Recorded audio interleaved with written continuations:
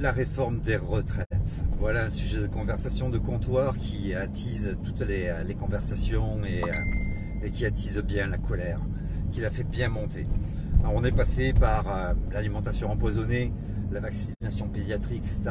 Mais j'ai jamais eu autant de colère que pour la réforme des retraites. Euh, tellement je n'arrive pas à comprendre la population, mais quelque part j'arrive à comprendre pourquoi vous en êtes là, puisque en fait, on fait tout pour attiser votre colère et ils vont tout faire pour le faire encore et encore plus. Et euh, si vous regardez, si vous avez un petit peu de mémoire depuis euh, les cinq années passées, ils vous ont donné un prétexte chaque semaine pour que vous alliez manifester. Euh, quand on a parlé de la vaccination Covid, ça, touchait directement à leur, business. Et là, toutes les, les, publications de personnes gênantes comme le professeur Perron, le docteur Louis Fouché, euh, le, le, professeur euh, Fortillan, euh, qui ont été extrêmement malmenés. Hein. Le professeur Fortillan, si vous voyez ce qu'il est devenu, c'est un professeur hyper brillant, un scientifique hyper brillant, qui avait un discours plus que, plus que cohérent, plus qu'intelligent. Aujourd'hui, quand vous voyez ces dernières vidéos, vous vous rendez compte qu'ils en ont fait un légume. Ce mec-là, ils l'ont fait souffrir, ils l'ont fait rentrer en, en psychiatrie, ils l'ont fait rentrer en prison à son âge, euh, il y avait peu de chances que psychologiquement il s'en sorte. Et aujourd'hui, euh, ce n'est plus le même monsieur, il n'y a plus la même intelligence dans ses discours, ce serait même plutôt le contraire. Euh, et donc, ils essayent de faire monter la colère. si vous prenez un petit peu de recul sur la situation, avec tout ce que nous avons vécu ces dernières années, pour vous inviter chaque samedi à, trouver un sujet pour vous inviter à manifester. Ils attendent la révolution, ils la veulent, et même les manifestations, c'est quelque chose auquel ils vous poussent en espérant qu'il y ait un débordement, et c'est ce qu'ils attendent. La révolte leur permettra de mettre en place une loi martiale qui, qui, qui fera que nous faire rentrer en dictature. Fixez-le-vous bien dans le crâne. J'ai fait pas mal de publications sur mon profil, je vous invite à les regarder. Il est important que vous en preniez connaissance. On ne peut pas gagner une bataille sans euh, étudier euh, l'ennemi sans étudier l'adversaire. Euh, ne serait-ce qu'un boxeur, un boxeur professionnel, avant de monter sur le ring, il va regarder toutes les vidéos avec son coach, toutes les vidéos de son adversaire pour étudier ses techniques, sa façon de boxer, euh, pour pouvoir euh, faire face et, se donner toutes les chances de pouvoir gagner, ne pas avoir de mauvaises surprises. Il est important qu'on se, se fasse la même chose. Il y en a qui disent les vidéos de Jacques Attali, j'aime pas l'écouter. Je l'idolâtre pas le gars, je l'idolâtre pas, mais ça fait des années que je le suis, que je lis ses livres, pareil pour Klaus Schwab, euh, pareil pour le Forum économique mondial, pareil pour l'OMS, pour l'OMC, pour l'OMT, euh, l'Organisation mondiale du travail, euh, pour l'ONU, etc. C'est pas ma tasse de thé, c'est pas avec ça que je me fais plaisir, mais, mais je me dois, je me dois de les suivre depuis 22 ans. Euh, pour, pour comprendre leur intention et où ils veulent en venir. Euh, ils, ont, euh, ils ont un programme, un agenda qu'ils ont mis au point il y a, plus de 50 ans. et tout ce qui est dans leur agenda se passe, mais, mais sans embûche aucune. Ils font de vous ce qu'ils ce qu'ils veulent. Comment ils y sont arrivés? Eh bien, je vous invite à regarder. Je ne vais pas être trop étayé sur cette vidéo, ça serait répéter ce que j'ai déjà dit.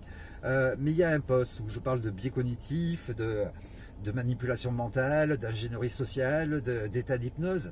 Euh, tout simplement en vous faisant souffrir, en vous faisant peur. Euh, le plus gentil des animaux. des animaux. Un petit caniche totalement inoffensif. Si vous arrivez à le faire peur, à le terroriser, c'est pas qu'il va devenir méchant, c'est que par instinct de survie, il va finir par essayer de se défendre. Euh, j'ai eu cette occasion dernièrement euh, des, des policiers qui avaient libéré euh, les pauvres, ils sont pour rien, ils n'ont pas de connaissances.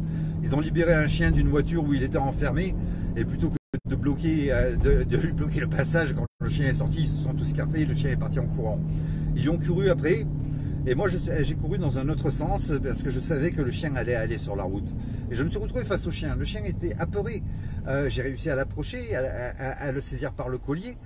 Et là, ils m'ont tous entouré et je leur ai dit, mais attendez, qu'est-ce que vous êtes en train de faire, les gars? Vous êtes en train de lui faire peur. Il est gentil, ce chien. Oui, on le sait, il est juste apeuré. Mais c'est justement là qu'il risque de se, de se rebiffer, de se débattre, d'essayer de me mordre le poignet parce que je le saisis, d'essayer de me mordre le bras euh, pour, euh, pour, pour, pouvoir partir. Parce que là, ils se sont entourés, ils se sont en danger. Donc écartez-vous. Je leur ai expliqué les choses calmement. Euh, et c'est exactement ce qu'ils font avec vous aujourd'hui. ils vous font peur, ils vous sortent des informations toutes ces informations que vous avez sur les réseaux sociaux, on parle d'adrénochrome, c'est une connerie l'adrénochrome, ce n'est pas dans le sang des enfants, c'est de la, euh, c'est de l'oxydation d'adrénaline, et l'adrénaline que les médecins vous injectent euh, pour, pour faire repartir votre cœur, elle est synthétisée, ce n'est pas de l'adrénaline qu'on a récupéré sur quelqu'un qu'on a tabassé. Euh, et l'adrénochrome, c'est de l'oxydation d'adrénaline, mais vous vous plaisez à regarder des films d'horreur, à être dans la psychose en permanence, vous avez allumé la télé, il y a 20 ans que je l'ai euh, banni la télé parce que je la supportais plus. Euh, vous allumez la télé, il n'y a que des malheurs sur toute la planète. Euh, ça sert à rien de se faire mal, de se faire peur. Il y en a qui disent oui, il faut que je m'informe. Informe-toi pas de ce qui s'est passé hier ou de demain matin, ça sert à rien, c'est déjà trop tard. Le 49.3, on s'en bat, on s'en bat les couilles. Informe-toi de ce qu'ils vont, ils ont programmé jusqu'en 2030. Va sur le site du Forum économique mondial, va voir les vidéos de Jacques Attali, de Klaus Schwab, lis leurs livres, va sur le, le site de l'OMS, va sur le site de l'Organisation mondiale du commerce, de l'Organisation mondiale du travail, euh, de l'Organisation mondiale euh, de la santé. Euh, prendre les bonnes informations qui vont avertir d'ici quelques années le FMI, Fonds monétaire international, de ce qu'ils ont prévu dans l'avenir jusqu'en 2030. Tu pourras, tu pourras anticiper sur, sur tout ce qu'ils ont prévu. Mais la retraite, on s'en fout complètement de la retraite. Déjà parce que notre espérance de vie en bonne santé notre espérance de vie en bonne santé est de, euh, en moyenne de 64 ans. Je parle d'espérance de vie en bonne santé, euh, en moyenne 64 ans. La deuxième chose, c'est qu'en 2030, nous aurons tous un revenu universel. Ils l'ont prévu. Euh, donc on s'en fout de la retraite. On s'en fout complètement. en 2030, ils ont prévu que y aura plus, on va perdre plus de la moitié des emplois. Il euh, n'y a plus personne qui aura la chance de travailler. Très peu, de gens auront cette chance-là. Euh, la plupart des emplois vont disparaître. Euh, ils ont mis en place un... alors le, cash va disparaître, le FMI l'a annoncé, hein, ils mettent en place avant 2025 l'euro numérique. Et, donc le cash va disparaître, ils auront un parfait contrôle de notre société à partir de 2025. Euh, nos dépenses, si tu obéis pas, si tu ne te fais pas vacciner, ils appuieront sur un bouton, tu ne pourras plus dépenser d'argent, tu ne pourras plus t'acheter de la nourriture, euh, ils n'auront pas besoin de te courir après de te mettre en prison, euh, ils t'éjecteront de la société et tu crèveras la dalle. on va avoir un revenu universel. Donc la retraite, on s'en fout, vous vous battez pour rien. Il y a juste Macron qui est là pour vous servir une télé-réalité quotidienne, vous agacer pour leur donner l'opportunité euh, de planter une loi martiale en vous poussant à la révolte. Et débordement, il va y avoir. Au plus on se trouvera nombreux dans les rues, au plus il y aura un sentiment de force qui fera que il y aura escalade de la euh, par la violence. Il y aura une escalade. Euh, et même si au début il y a un sentiment pacifique, la révolte, euh, le débordement, il va être de toute façon provoqué par la police qui va vous pousser d'un côté, etc. Et qui va faire que, parce qu'ils répondent aux ordres, euh, ils sont couillons, mais on répond tous aux ordres quelque part. Quand tu vas travailler à l'usine, tu réponds aux ordres de ton contremaître, euh, de ton chef, de ton patron. et on, est tous un engrenage de cette société, de cette société de la destruction de l'avenir de nos enfants. Prenez conscience de certaines choses. Macron, s'en fout, c'est juste une marionnette qui est là pour vous servir une télé-réalité quotidienne. Il ne décide de rien.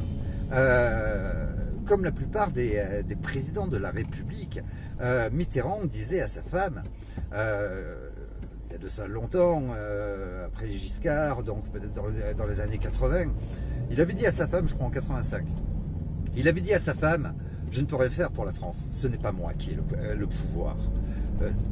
Jacques Attali en parle, Klaus Schwab en parle, ce sont des grands économistes, les meilleurs. Dites-vous bien que l'élite mondiale ne vont pas prendre un, blaireau qui, n'a aucune compétence. Ils ont embauché les meilleurs pour faire le travail. Euh, vous avez Gérard Filoche, qui est un politicien. Euh, vous avez Valérie Bugot, qui est docteur en droit à la Sorbonne. Tous en parlent. C'est le marché. Aujourd'hui, quel le pouvoir et vous pouvez voter pour qui vous voulez, il n'y a rien qui changera. Le changement, il peut venir que de nous, que du peuple, et certainement pas par... Euh, j'ai été un gilet jaune des premières heures, j'ai monté, j'ai construit des cabanes sur les ronds-points, euh, j'ai parce que j'imaginais pas qu'il pouvait y avoir une, une union populaire comme, comme elle s'est faite, mais elle a été construite par l'élite. Les gilets jaunes, c'est une pure fabrication de l'élite qui est contrôlée par l'élite. Et pour ce faire, eh bien, ils ont employé des chefs de guerre. Alors directement ou pas, euh, les Olive Olive, les Jérôme Rodriguez, Jérôme Rodriguez, c'est un gars qui, euh, qui, qui s'est fait buter l'œil, qui a une haine terrible, mais euh, monter, aller au combat avec la haine, la haine n'est jamais bonne conseillère, et aller au combat avec la haine fait qu'on ne peut que perdre. Et Jérôme Rodriguez, lui, c'est une vengeance personnelle qui veut. Même s'il a un très bon dialogue, qu'il est quand même très intellectuel, ce monsieur, euh, contrairement à Olive Olive, qui est, euh, c'est GGPMU, hein, Olive Olive, c'est un gars qu'on trouve dans les bars, qui n'a aucune connaissance, et qui vous dit exactement ce que vous avez envie d'entendre.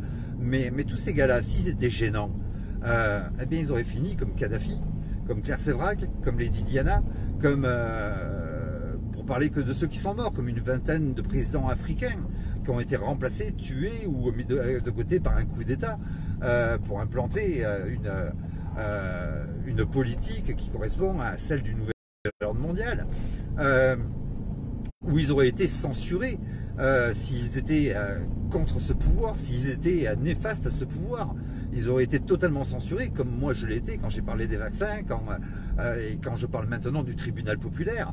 J'ai plus aucune visu sur mon profil. Euh, ils seraient censurés depuis longtemps, ces gens-là. S'ils ne sont pas censurés, s'ils n'ont pas été tués, c'est qu'ils ne sont pas gênants. Et au contraire, qu'ils vous invitent à faire exactement, ce sont des outils. Alors de façon consciente ou inconsciente, est-ce qu'ils sont payés par l'élite, par, le gouvernement pour, euh, pour vous travailler le cerveau, pour vous. Euh, on parle d'influenceurs, des gens qui vous influencent, des gens qui vous manipulent. Et si vous regardez ne serait-ce que le langage de Olive Olive, moi je trouve qu'il a une grande intelligence malgré sa sottise. C'est qu'il dit exactement ce que vous voulez envie d'entendre, mais il se contradit sans arrêt. Euh, et tout ce qu'il a fait, tout ce qu'il annonce, euh, c'est toujours un flop. Il avait dit après, après septembre, ou, et puis les mois qui viennent, le, gasoil dépassera les 2 euros. Il est pour le moment à 1,80€. Et je ne suis pas le mieux placé, je suis en Haute-Savoie. Euh, il avait annoncé pas mal de choses, et puis à chaque fois ils vous disent allez cette fois-ci c'est la bonne, on va gagner, ils ont peur, ils reculent. Ils ont avancé jusqu'à présent comme ils le voulaient, et tout se passe exactement comme ils le veulent. Euh, et vous continuez à, croire en ces gens-là. Euh, alors soit ils sont payés, c'est de l'opposition contrôlée, ils sont payés par l'élite, euh, soit ils sont tellement teubés que finalement ils voient qu'ils ont tellement de tellement d'audience qu'on s'en sert, on s'en sert. Mais quand un olive olive par exemple vous dit à l'époque des vaccins, vous disiez je vais faire attention à ce que je dis, il ne faut pas prononcer le mot, donc je vais dire vax plutôt que de vaccin. J'ai connu pas mal de mafieux sur Marseille quand ils étaient sur écoute, qui disent un kilo de cocaïne, un kilo de farine ou amène-moi le dessert. Euh, les, flics qui étaient en train de les écouter savaient très bien de quoi ils parlaient. Ils connaissaient tous les, mots-clés tous les, euh, qui, peuvent euh, qui peuvent remplacer ce que vous avez envie de dire. Vous ne pensez pas quand même que les algorithmes, ce, qui, ce, qui, ce qui nous contrôle actuellement, hein, parce que toutes nos conversations, toutes nos publications sont parfaitement contrôlées, mais par des algorithmes qui, qui ont des mots-clés. Vous ne croyez pas que ces algorithmes sont assez connes pour ne pas comprendre la différence entre vax et vaccin? Euh, mais il s'amusait à ça et puis quelque part il faut forcer croire qu'il va être censuré, que la vidéo, si elle bug, c'est qu'elle est censurée, etc. Non, c'est juste un problème, un problème de réseau, un problème de téléphone. Quand ton téléphone ne capte plus, euh, appuie sur le mode d'avion ou éteins-le, réactive, et tu verras qu'il reprend du réseau. C'est juste que la mémoire, euh, la mémoire fait qu'il sature et que voilà, il toutes ses fonctions sont en train de, de, s'affaiblir. Mais ça n'a aucun intérêt tout ça. Euh, essayez d'étudier réellement vos adversaires pour voir leurs intentions et ne leur donnez pas l'opportunité de leur donner.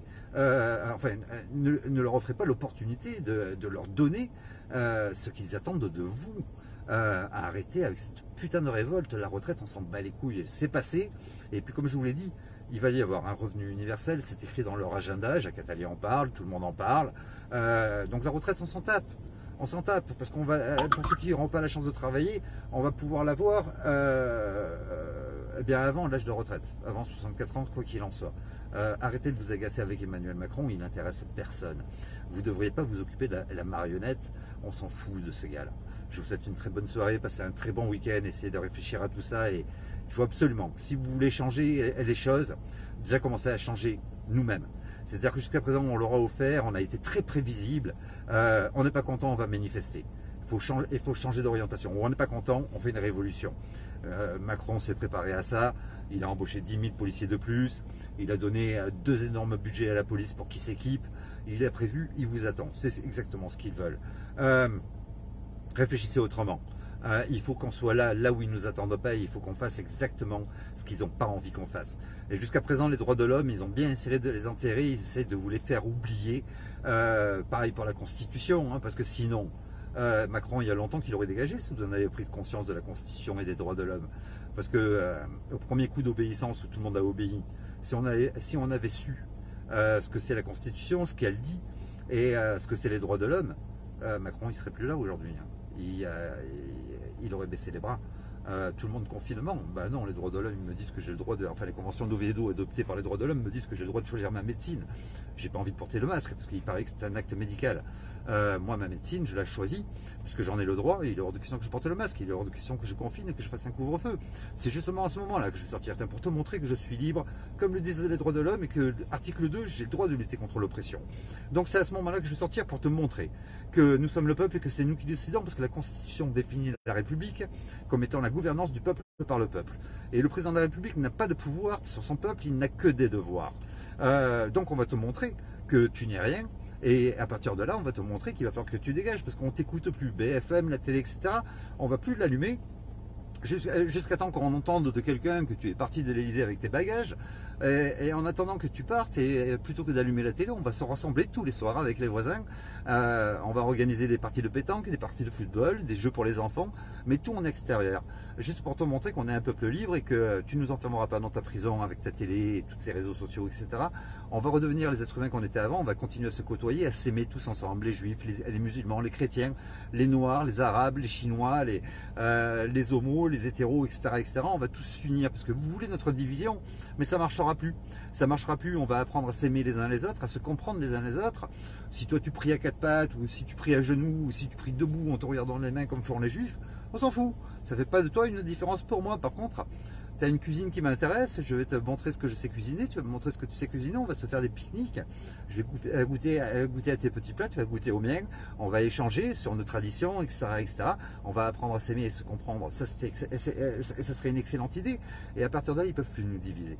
Euh, et c'est ce qu'on aurait dû faire depuis le début, plutôt que de marcher dans leur dans leur délire avec l'ingénierie sociale à se laisser manipuler et à apprendre à se détester les uns les autres, comme le féminisme par exemple, hein, qui est, euh, comme le, LGBT aussi, qui sont juste des, des mouvements politiques visant juste à, nous dessouder, à, nous, à, nous, à, nous, à nous désunir. Euh, pour nous affaiblir, pour encore plus nous affaiblir. Maintenant, on arrive même à nous diviser au sein de nos propres couples les femmes veulent, être l'égale de l'homme. Mais quel manque d'ambition, mesdames Mais réellement, quel manque d'ambition Aujourd'hui, je vois des femmes qui se laissent pousser les poils, euh, qui rotent, qui pètent, qui boivent de la bière devant les matchs de foot. Euh, est-ce que c'est ça? Euh, Il n'y avait pas grand-chose de bien à prendre chez les hommes. Certains sont élégants, mais il n'y a pas grand-chose de bien à prendre chez les hommes. Et vous voulez leur ressembler, essayer de prendre ce qu'ils ont de, peut-être bien. J'ai pas d'exemple à donner parce que là, ça ne me vient pas et je doute qu'on ait vraiment euh, beaucoup de choses à prendre, à apprendre, euh, euh, mais apprendre quelque chose, essayez de faire les choses bien et prenez les bonnes choses qu'on peut avoir, mais ne prenez pas nos défauts. ou en tout cas les défauts faciles à prendre de certaines personnes qui manquent d'élégance. le féminisme, c'est juste un gros manque d'ambition. Restez tel que vous êtes, mesdames, et soyez fiers de ce que vous êtes. Je vous salue, passez un bon week-end.